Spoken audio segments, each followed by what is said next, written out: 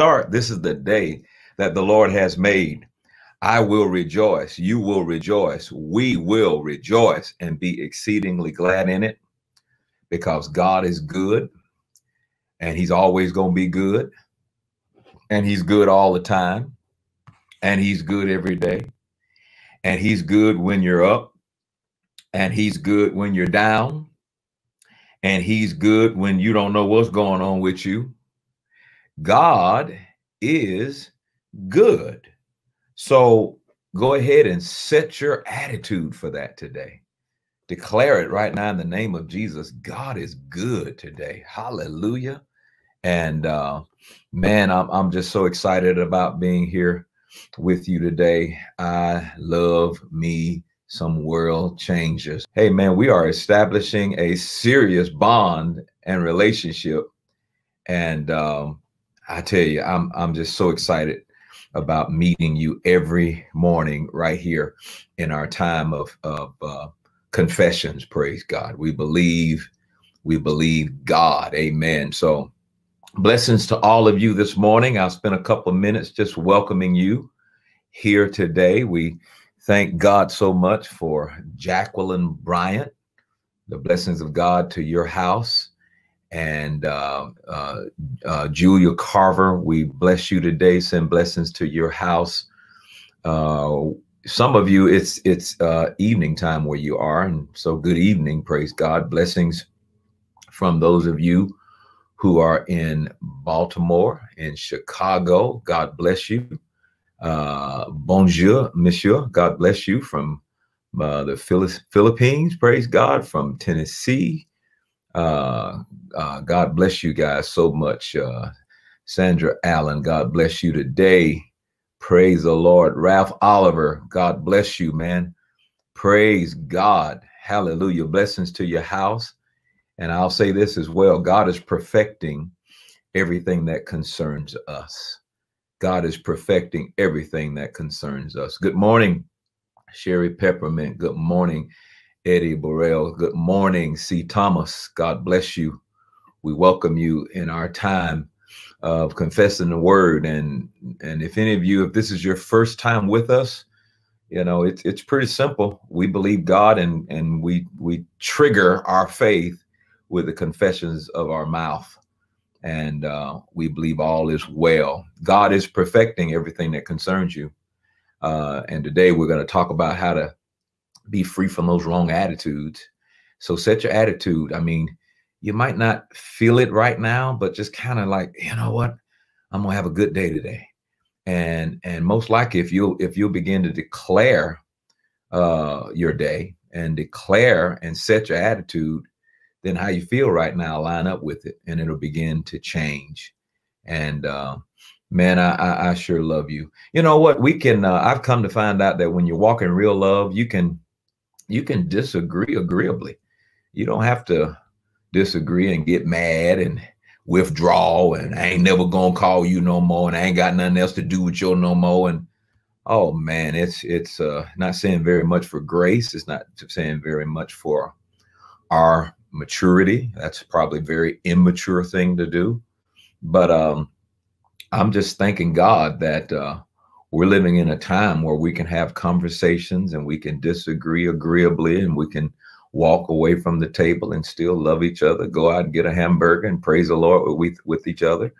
Got to make sure the devil doesn't take advantage of, of disagreements and then turn it into strife and then it goes from strife to hatred and then you find out that you don't like a person and it all it goes all the way back to a to a disagreement yeah the bible does say how can two walk together unless they be in agreement yeah i understand that but this is about you know can i can i express myself can i become vulnerable i think we need to provide as christians a safe place for people to become vulnerable so you don't have to just say what everybody else is saying. You can say, well, here's just what I feel about it. And, you know, I hope we can be friends after I say what I'm going to say.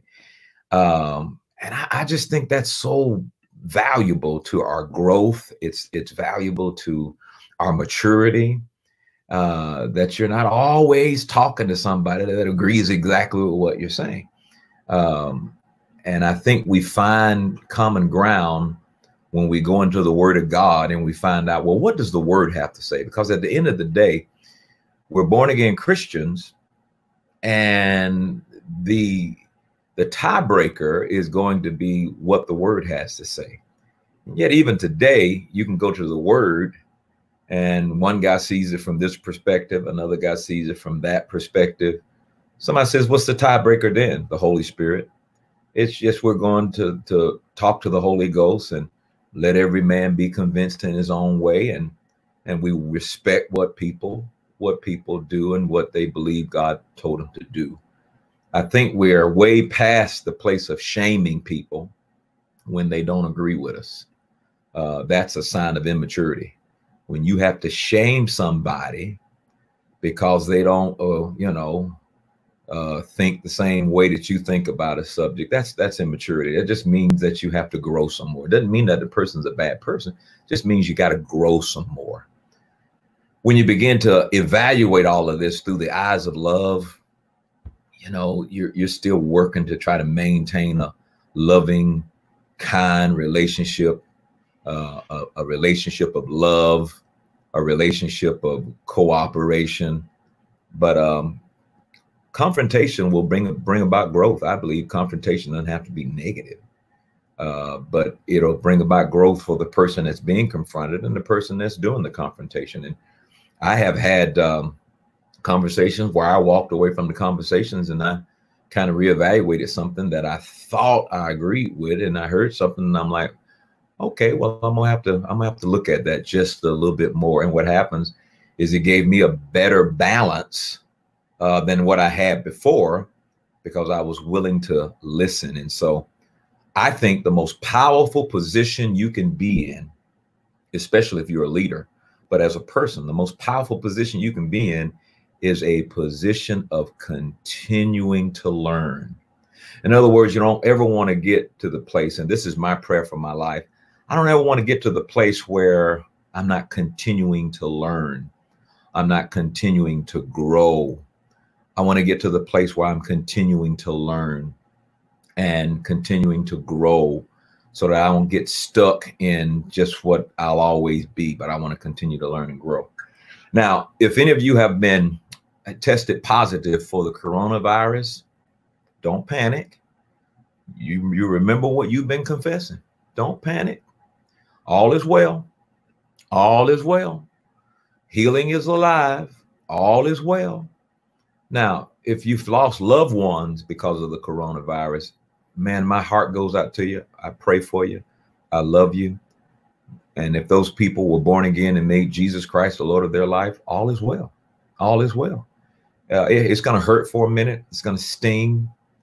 That sense of just pain and and and and a sense of grief, even though um, in Christ there is no loss. But I just want you to know that Taffi and I care we are we care about your hurts we care about your your pain we care about your loss of a loved one and i'm not going to debate about you know this or that i just want to say I, we care and we love you and we we we we want you to have a quick recovery we want the spirit of god to help you to recover in your heart and uh, if you have loved ones that are in the hospital right now we're believing god that the best is yet to come. We speak healing to, to your loved ones right now. We just, everybody online, let's just agree right now that anybody that's been hospitalized because of COVID 19, we speak healing right now.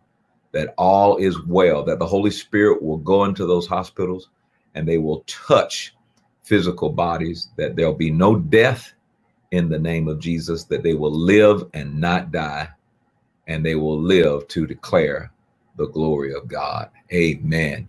Um, so um, I, I, thank God for you. I, I, love you guys so much. So let's let's get into our our um, word for today. I'm going to be talking to you about you know your your identity in Christ and and how important it is for you to identify with Christ Jesus and to know who you are in Christ and be careful not to allow anything else to define your identity.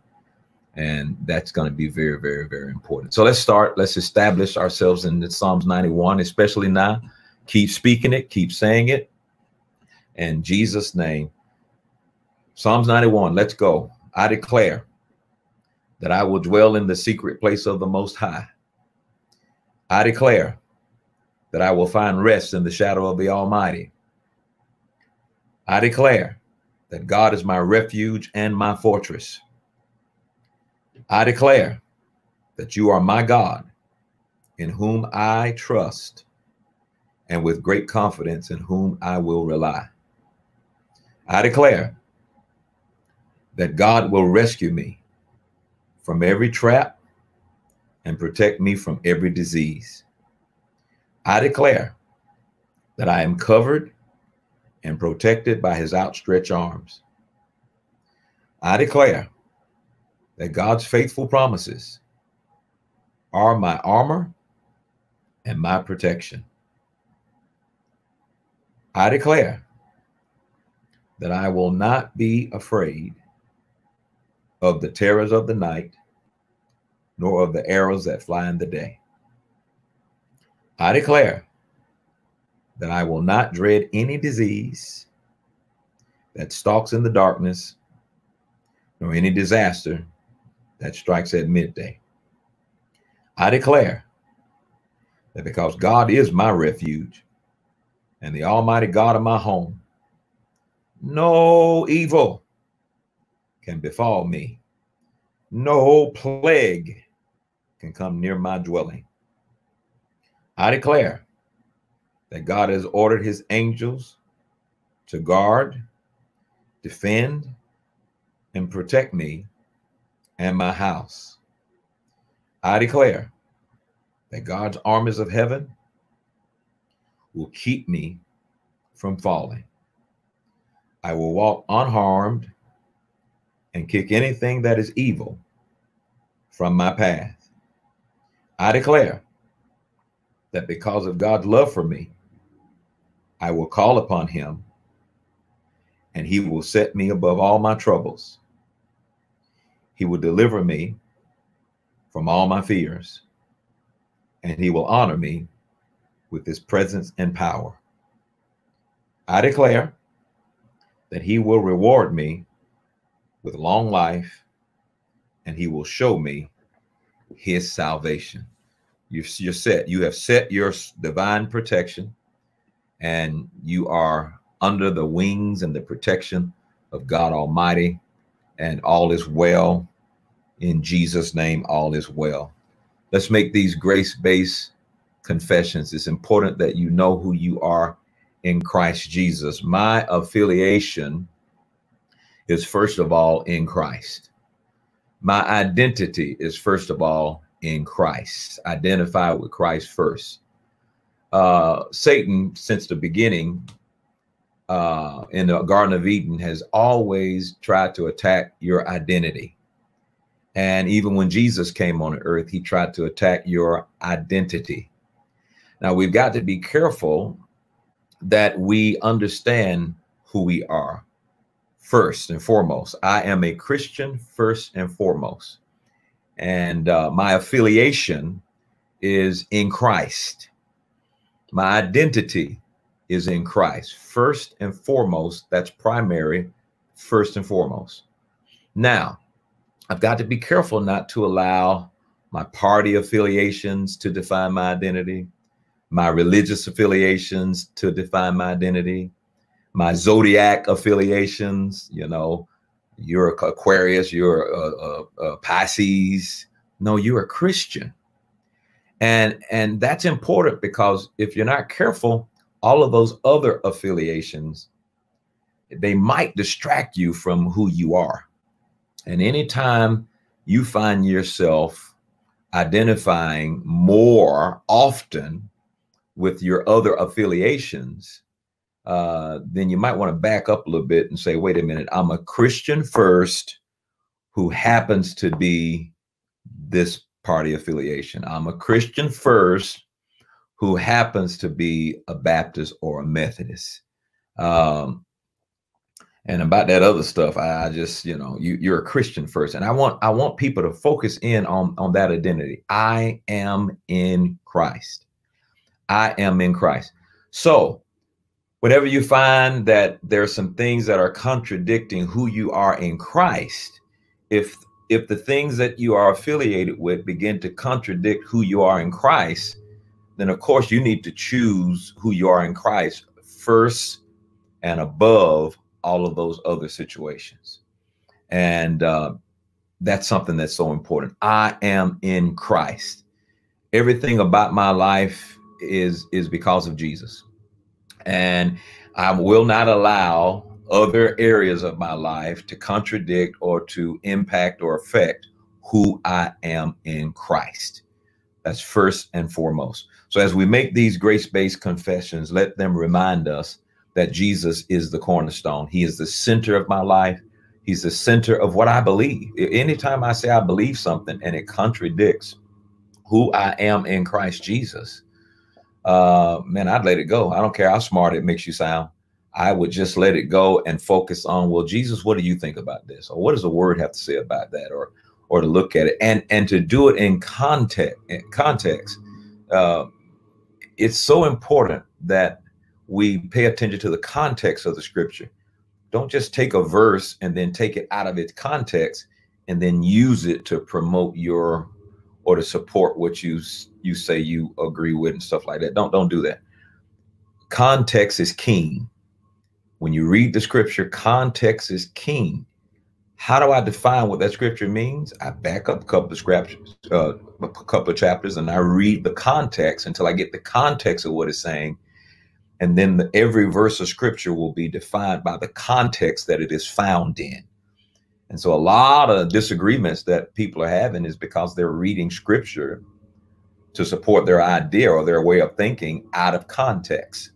So let's respect the context of what the scripture says. Don't take it out of context and uh, choose what God has said in context over something that you might have heard or decided to agree with, but it contradicts the definition and the views of the Bible uh, in context. Context is king. Amen. So repeat after me.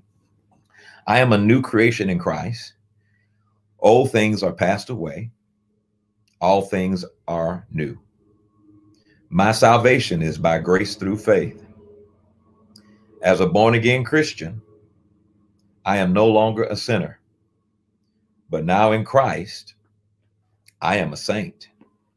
I am the righteousness of God. I am redeemed. I am sanctified.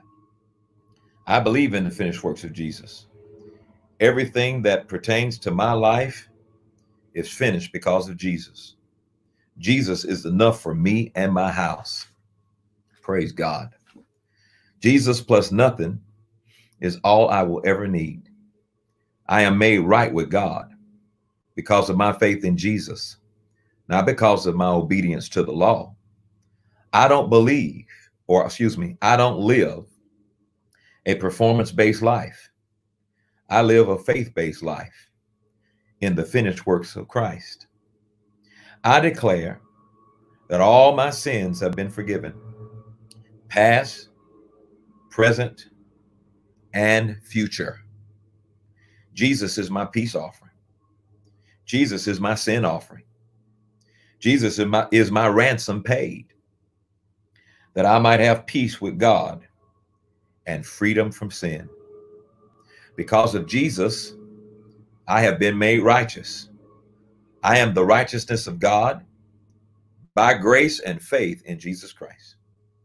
I'm redeemed now. I'm holy now. I'm sanctified now. I have wisdom now. I have been made whole because of Jesus.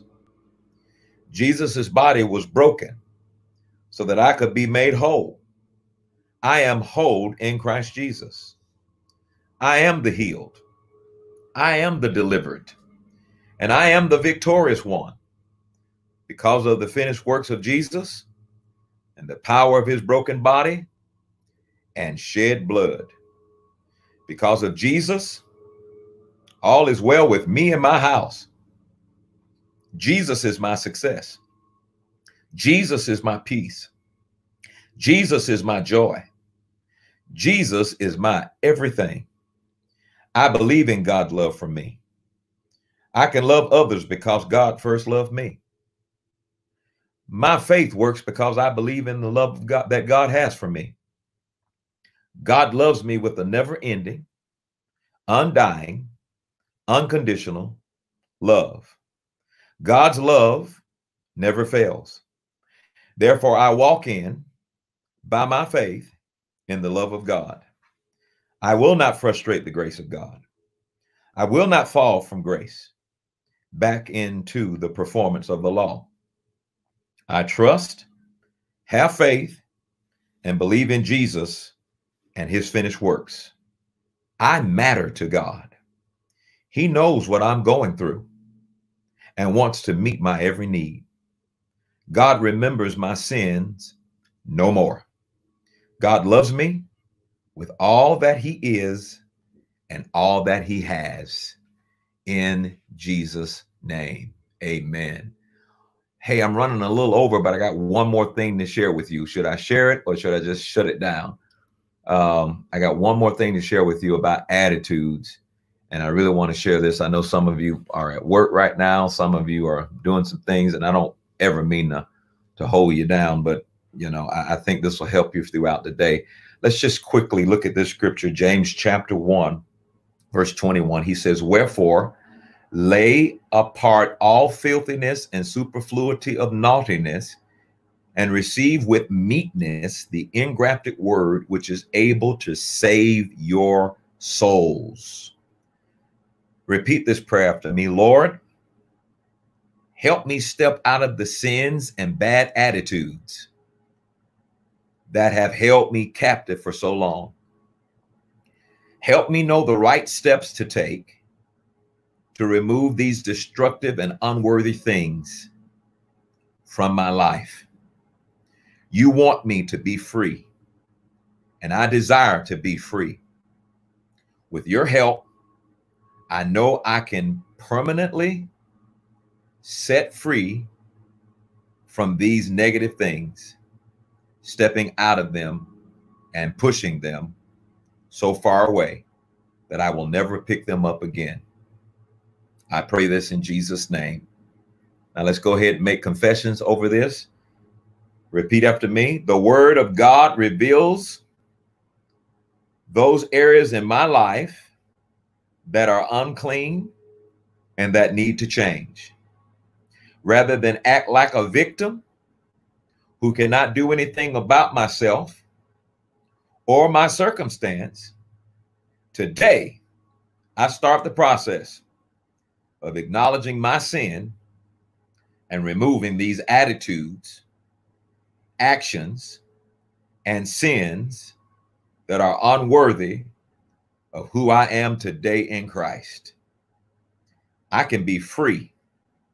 I will be free. I will be all that God intended for me to be. I declare this by faith in the mighty name of Jesus. Amen. I will see you tomorrow morning, and uh, you're going to have a great day today. I love you dearly. God bless you. Let's continue to mature in Jesus Christ. God bless you. Bye bye.